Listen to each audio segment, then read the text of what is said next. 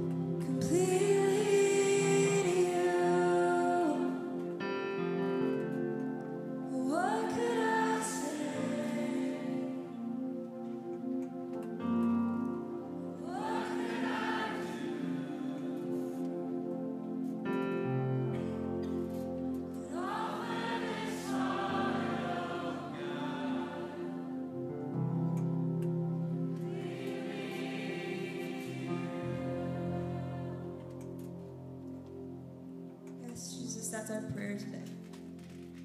We just give it back to you. Open our hearts and our minds as we go into this message, as we go throughout the rest of our day. We love you, Lord. It's in your name we pray. You guys can be seated. All right, good morning. We are here to lift up the name of Jesus, to worship Jesus. That's what we do in chapel. I'm thankful to our chapel band. Can we give it up for them one more time for their ministry to us? Thank you. And we're going to continue to worship the name of Jesus uh, this morning as we study uh, God's Word. Our speaker this morning is Pastor Aaron Hoak. He uh, has received his bachelor's degree from Kentucky Wesleyan College and MDiv from Westminster Seminary in California. He pastors Grace Baptist Church right here in Warsaw. It's a church he planted back in 2010.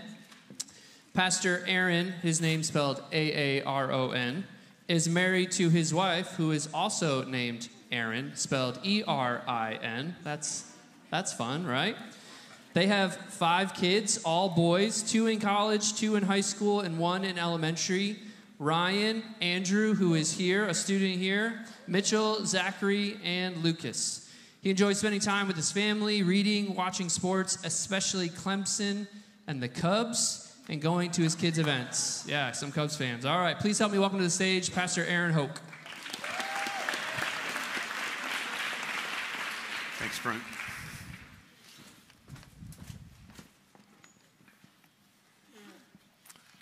Thank you for the invitation to speak and for welcoming me to your chapel today.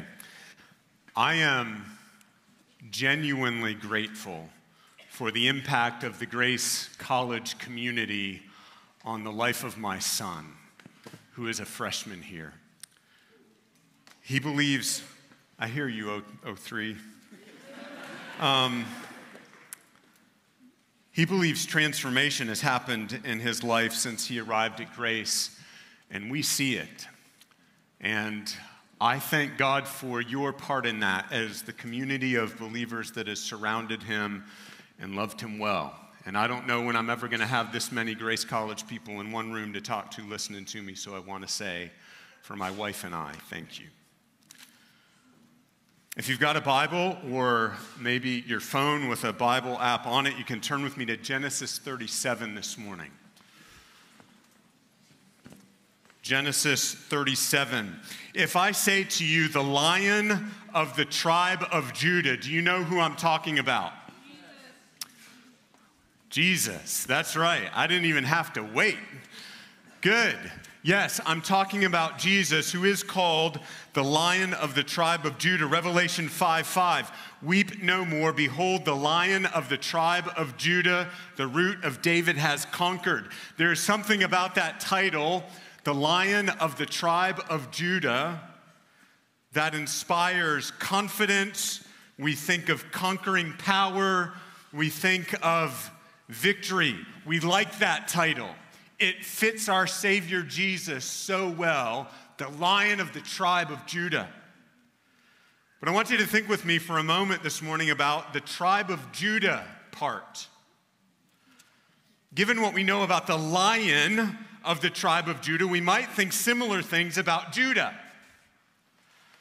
We might think that our magnificent Savior comes from a magnificent line of ancestors. Surely Judah was a great mighty lion of a man. But if we thought that, we would be wrong. In fact, we could pick almost anyone in the genealogy of Jesus, all of his descendants, to show that that is not the case, to show that the glorious Savior Christ actually comes from a line of not at all glorious ancestors. They are all sinners of various kinds, some more striking and ugly than others, some more ordinary, but all sinners in need of the very Savior in whose line they stood. And that was certainly true of Judah. And what I want us to see today is the remarkable transforming grace of God in the life of Judah. Judah was one of the 12 sons of Israel. I'm going to get to that in a minute. Uh, let's, let's go back to Jesus for a second. You know, Jesus was descended from David, and, and David was from the tribe of Judah.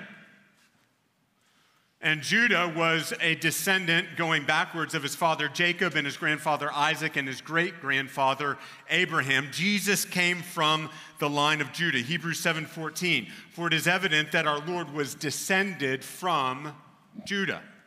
There's no disputing that. He came from the tribe of Judah. So, what about this Judah? Again, I want us to see the remarkable transforming grace of God in his life and why that should give every single person in this room, me included, why it should give all of us humility and hope. I sometimes think we see giants of the faith and think that either in our pride we're like them, I'm going to be the next David. Or we think in our despair, our weakness, our hopelessness that we will never be a great Moses or David or Apostle Paul. But Moses, David, and Paul all had their significant flaws. And Judah, Judah is a complete mess. He, he's a train wreck. He's a disaster. And I want us to see that today. Which is to say, he's a lot like us.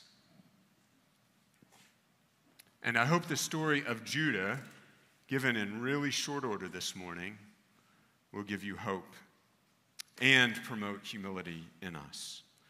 We are weak and flawed, much like Judah was. So let's have a look at his life this morning. We're going to start in Genesis 37, and we're going to make our way through several chapters of Genesis. So buckle up.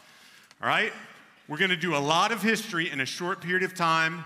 And if your eyes are glazing over at the thought of history, hang with me. It'll be worth it. The payoff, I trust, by God's grace, will be worth it. So we got to do some history to get some of the, the benefit out of the life of Judah. His life we could summarize with an ugly start and a sweet finish by the grace of God. So we, we start with that ugly start.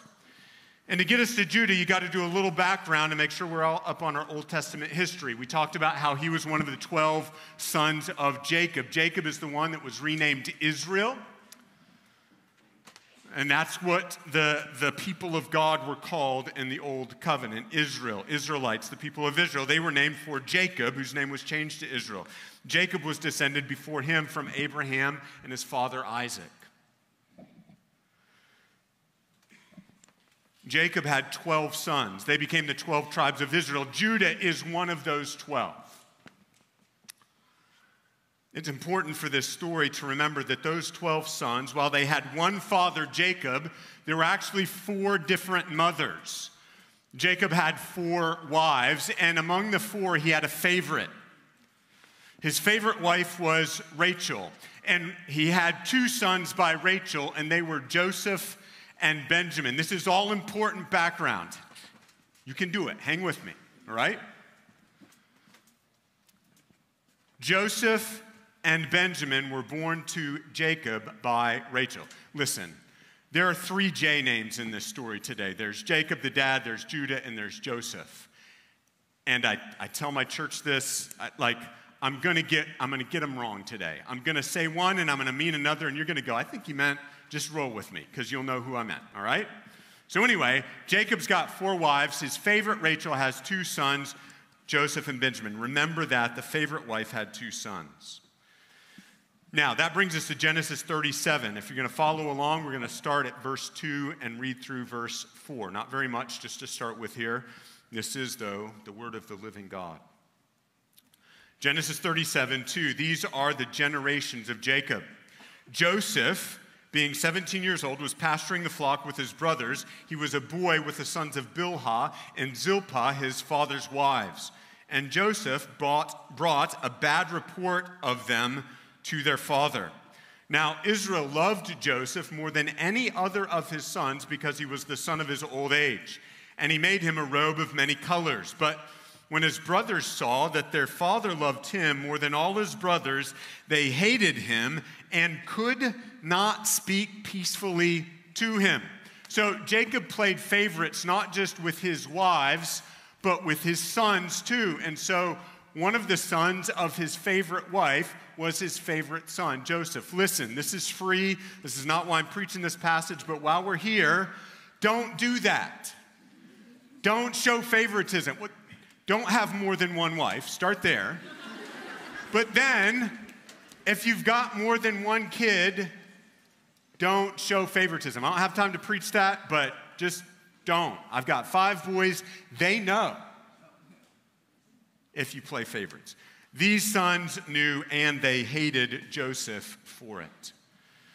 They probably hated him because he tattled on them too, that we just read there. And remember, Judah is one of these 12 brothers. So, Judah hates Joseph. How much did they hate him? They couldn't speak peacefully with him, they couldn't say shalom to him. They hated their brother so much. That was made worse when Joseph had a couple of dreams that indicated that one day he would be in power over them and they would bow down to him. The problem was Joseph didn't keep those dreams to himself. He thought he would share them with his brother. Another tip if you have a dream that shows you exalted every, everyone, don't share that either. Joseph does. His brothers hate him even more for that. They're like, no, no, no, we already hate you. You're not going to be in power over us. Look at verses 8 and 11. His brother said to him, Are you, in, after he told him the dreams, are you indeed to reign over us? Or are you indeed to rule over us? So they hated him even more for his dreams and for his words. And then down in verse 11, and his brothers were jealous of him, but his father kept the saying in mind. Their hatred and jealousy then boil over into a plot to kill him. This isn't just being annoyed with your little brother, they really hate him. And Jesus says, murder comes out of the heart that hates. And here it does a plot to murder. Look at verse 18. They saw him, Joseph, from afar, and before he came near to them, they conspired against him to kill him. They said to one another, Here comes this dreamer. Come now, let us kill him and throw him into one of the pits. Then we'll say that a fierce animal has devoured him, and we will see what will become of his dreams. But when Reuben heard it, he rescued him out of their hands, saying, Let us not take his life. And Reuben said to them, Shed no blood, throw him into this pit here in the wilderness, but do not lay a hand on him, that he might rescue him out of their hand to restore him to his father. So, when Joseph came to his brothers, they stripped him of his robe. Judah is in this group, remember? Okay? They stripped him of his robe. I lost my place. The robe of many colors that he wore, and they took him and threw him into a pit. The pit was empty, there was no water in it. Then they sat down to eat. Throw your brother in a pit to die and go have dinner. It's sort of shocking their cruelty and their hatred towards Joseph. But Jake, Judah, Judah, this is the Judah that we're talking about today. Judah hatches a plan. We'll look down at verse 25 now. Then they sat down to eat, and looking up, they saw a caravan of Ishmaelites coming from Gilead with their camels bearing gum, balm, and myrrh on their way to carry it down to Egypt. Then Judah said to his brothers, What profit is it if we kill our brother and conceal his blood? Come, let us sell him to the Ishmaelites, and let not our hand be upon him, for he is our brother, our own flesh. And his brothers listened to him. Then Midianite traders passed by, and they drew Joseph up and lifted him out of the pit and sold him to the Ishmaelites for 20 shekels of silver. They took Joseph to Egypt. They sold their brother into slavery for silver. Now, technically, Judah saves Joseph's life here. But selling someone into slavery for your own financial profit and consigning them to a life of servitude and misery separated from your family is not doing him a favor. Kept him alive, but Judah is wicked it's cruel. This is the Judah that we're talking about today, but that's not all. They've just rid themselves of Joseph, but now they got to do something about dad. This is dad's favorite son. So look over at verse 31. Then they took Joseph's robe and slaughtered a goat and dipped the robe in blood, and they sent the robe of many colors and brought it to their father and said, This we have found. Please identify whether it is your son's robe or not. And he identified it and said, It is my son's robe. A fierce animal has devoured him. Joseph is without doubt torn to pieces. Then Jacob tore his garments and put sackcloth on his loins and mourned for his son many days. All his sons and all his daughters rose up to comfort him, but he refused to be comforted and said, No, I shall go down to Sheol mourning for my son. Thus his father wept for him. They devastate their father with the news that Joseph has been devoured by a wild animal. They lie to him. And then they dis- this is disgusting. They, they, they try to comfort him.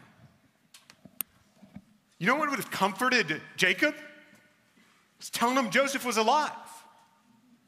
Going to get him, maybe. But instead, for 20 years, they cover up what they did with Joseph. It's cruel, it's cold, and it's heartless.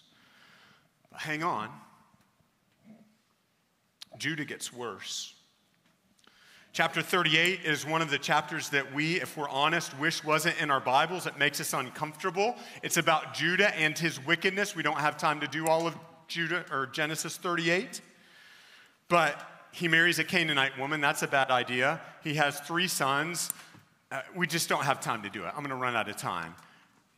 He's got three sons. The first two die. The first one had a wife when he died. Her name was Tamar. They didn't have any kids, so the second son of Judah took Tamar as his wife. No children. He dies. Because of their wickedness, those sons died, by the way. Maybe that's some bad parenting on Judah's part. We don't know. But then, Judah promises to his daughter in law Tamar that he'll give her his third son when he's old enough. He has no intention of doing that he thinks Tamar is the reason his first two sons have died. And so Judah now, he's got two dead sons. He's got one living son. He's like, no way is this cursed daughter in law getting anywhere near my son. She figures out he has no intention of keeping his promises. And no joke, she dresses like a harlot, a prostitute, to ensnare Judah, her father in law, and it worked. Look at verse 15. Chapter 38, verse 15. When Judah saw her, he thought she was a prostitute, for she had covered her face. He turned to her at the roadside and said, Come, let me come in to you, for he did not know that she was his daughter in law. And they, they haggle about the price and the pledge, and so the end of verse 18. So he gave them to her and went into her, and she conceived by him. And they have twins. Twins are born to Judah and his daughter in law. This is Judah. Foolish marriage, maybe bad parenting, lying, lust, incest. That's the guy we're talking about. Judah and his brothers go, and his father go 20 years without Joseph in their lives until a severe famine strikes. They're forced to go to Egypt to buy grain. Why is there grain for sale in Egypt in a famine? You guys doing okay? A lot of history. You awake? You with me? A lot of history crammed into a short period of time. All right, got a little ways to go. Why is there grain for sale in Egypt during a famine? Glad you asked. We don't have time to tell the whole story, but it has to do with Joseph. He's the governor. That's right. Joseph is now the governor of Egypt. He was sold into slavery into Egypt. For 13 years, he was enslaved. Part of that time he was in prison, but then, because of his God given dream interpreting ability, he comes to Pharaoh's attention. Pharaoh's had some dreams. Joseph interprets them, and they find out there's seven years of plenty coming, lots of grain and abundance, followed by seven years of severe famine. Joseph's got a plan to deal with that. He pitches it to Pharaoh. Pharaoh says, You're in charge. He goes from literally prison to power in Egypt in about an hour. You read about it, it's really remarkable. We don't have time to read that today. So when the famine comes, they've got all this grain stored up in Egypt, and when the famine comes, people from surrounding nations come as well to buy grain. including his brothers. And they come and they bow down to him just as his dream had foretold, the one that he told them early on. But only 10 of the remaining 11 brothers come. Only 10 of the 11 remaining brothers come to Egypt to buy grain. Why? Because Jacob is still at home playing favorites. If Joseph is out of the picture, who's his new favorite son? Benjamin. The other one that was born to his favorite wife, Rachel. So Jacob says, No way are you taking Benjamin down to Egypt. Something bad might happen to him. Look in chapter, we're going to jump all the way over to chapter 42, all right? Chapter 42, verses 3 through 6. So, 10 of Joseph's brothers went down to buy grain in Egypt, but Jacob did not send Benjamin, Joseph's brother, with his brothers, for he feared that harm might happen to him. Thus the sons of Israel came to buy among the others who came, for the famine was in the land of Canaan. Now, Joseph was governor over the land. He was the one who sold to all the people of the land, and Joseph's brothers came and bowed themselves before him with their faces to the ground. When the brothers arrive, they don't recognize Joseph, and he doesn't let on that he does recognize them. And then unfolds this fascinating series of events that we simply do not have time for this morning. Essentially, Joseph is testing his brothers to see if their hearts have changed before he reveals himself to them. Joseph wants reconciliation, he wants shalom restored. But he needs to see if they've changed. So he sends them home with grain and with a demand that they bring their younger brother. That's Benjamin. That's his full blood brother. They share the same father and mother. The demand that they bring their younger brother back or there will be no more grain for them. He also keeps one brother, Simeon, imprisoned in Egypt as a leverage point to make sure that they all come back. That's all fine, except for Jacob. In his favoritism, the sons get back with the grain. They say, We got to take Benjamin back if we want to get Simeon back and, and get more grain. And Jacob says no. Look at the end of chapter 42, verse 38. But he said, My son shall not go down with you, for his brother is dead, Joseph. And he, Benjamin, is the only one left. He's got, he's got 10 sons standing in front of him. And he says, he says, Benjamin's the only one left. He's talking about the only son of Rachel, but man, don't do that. If harm should happen to him on the journey that you are to make, you would bring down my gray hairs with sorrow to Sheol. And so they can't go. But then that's the, that's the ugly start to Judah's life. I want to shift quickly now to the sweet finish. Joseph and his brothers know once their grain ran, runs out, they'll die without more, so they talk their dad into it. Like, Look, all of us, including your favorite Benjamin, are going to die if we don't go get more grain. He's like, All right, go ahead, get more grain. And they go. Judah, instead of wanting to sell Benjamin like he did with Joseph, actually offers to take personal responsibility. This is what convinces Joseph or Jacob to let him go.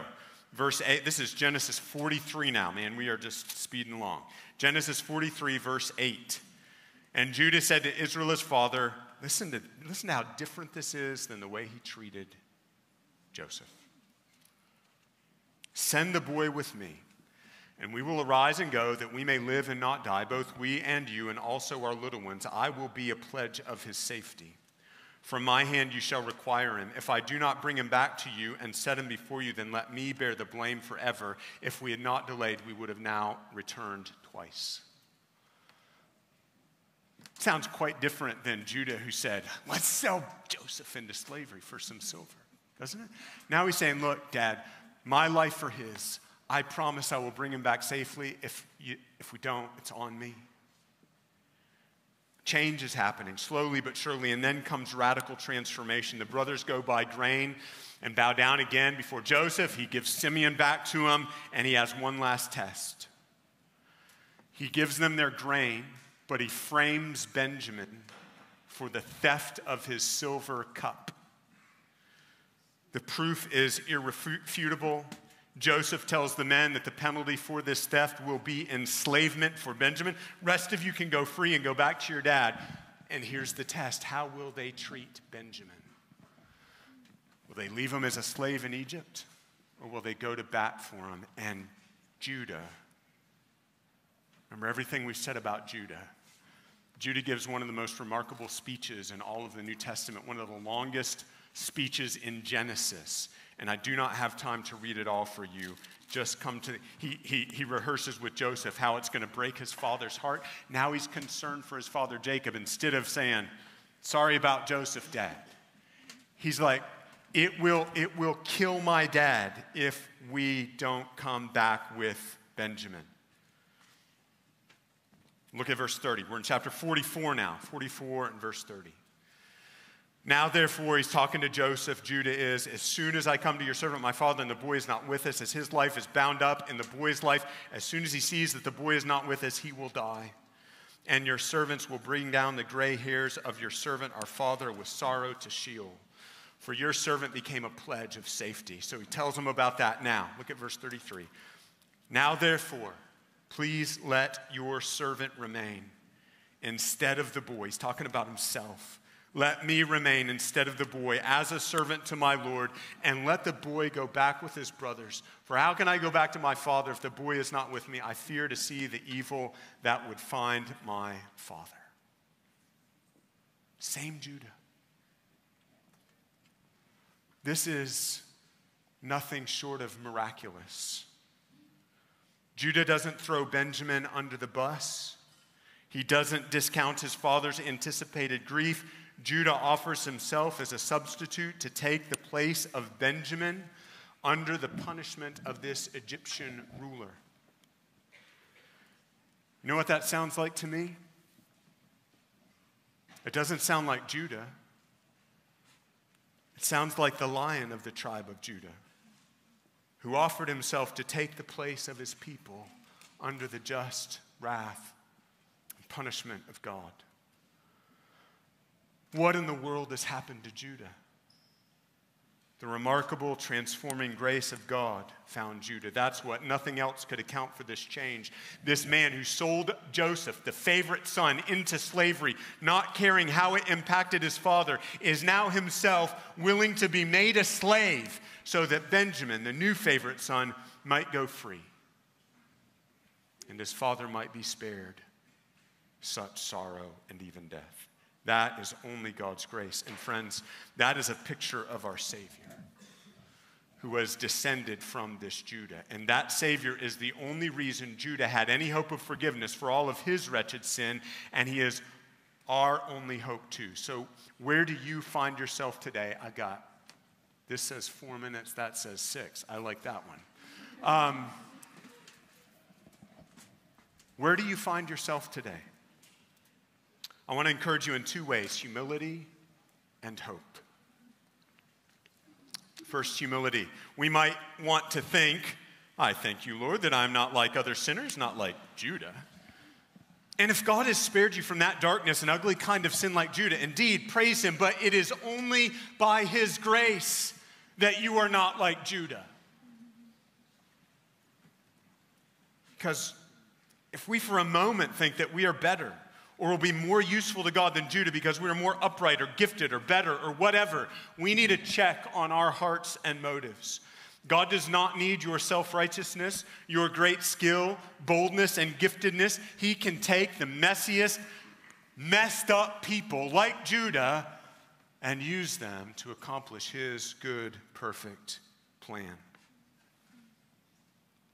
He shows His great skill and power in our weakness and humility. He gives us the righteousness of Christ because ours is frankly disgusting. 1 Corinthians 1 26 to 31. For consider your calling, brothers. Not many of you were wise according to worldly standards. Not many were powerful. Not many were of noble birth. But God chose what is foolish in the world to shame the wise. God chose what is weak in the world to shame the strong. God chose what is low and despised in the world, even the things that are not, to bring to nothing the things that are, so that no human being might boast in the presence of God. And because of him, you are in Christ Jesus who became to us wisdom from God, righteousness and sanctification and redemption, so that as it is written, let the one who boasts boast in the Lord. I imagine there are very gifted and godly people in this room, and I sincerely pray God uses all of you greatly for his purpose in his kingdom. But it will not be because of you or me. Whether you have standout sort of righteousness and gifts or just kind of ordinary middle of the road, or you're an absolute mess like Judah today, isn't so much the point. It's that God, by his power, is the one at work in all things in our lives. Your hope must not be on your obedience or giftedness, but rather on God. Give him the glory in all things. With Judah, it was obviously God. Nothing good could have come from Judah. That's true with all of us. It's just not always as obvious. Judah's story calls us to humility. Secondly, really quick, hope. If you're a believer in this Jesus we've spoken of, maybe you are, but maybe your life is still a mess. Maybe you went to bed last night determined to do better today, and you've already blown it this morning. You've got your whole future stretching before you, but it's not bright and hopeful. It's bleak because you keep messing it up. Like Judah kept messing his life up. Let me just encourage you that God delights to transform messes like you and me and make them instruments in his hand to accomplish his good purpose. There is hope, there is forgiveness, there is strength and usefulness for you through Jesus, who is descended from Judah and Tamar. If he can transform a Judah, he can transform you. It might be painful. It was for Judah. It might expose you in ways that are hard, but it will be good. I can promise you there is hope this morning because it does not depend on you. It depends on God, the mighty lion of the tribe of Judah. Maybe you think you're so far gone that there's no hope or forgiveness or salvation for you at all. And here you are at a Christian college, and so everybody thinks you're a Christian, and you're afraid to let on otherwise. Don't be afraid. Judah was an angry, bitter, envious, hateful, lustful, wicked man, and God turned him into a humble, selfless, loving, caring servant of God. He can change you too. Cry out to him, and he will. The lion of the tribe of Judah has come. It was good news for Judah, and it's good news for you. Let's pray together. Father, thank you for the Savior Jesus, our lion. May we find our hope in him. We pray that you would make us humble, and we pray that you would make us hopeful in you. We pray in Jesus' name. Amen. Now may the Lord of peace himself give you peace at all times in every way, the Lord of peace be with you all. You're dismissed.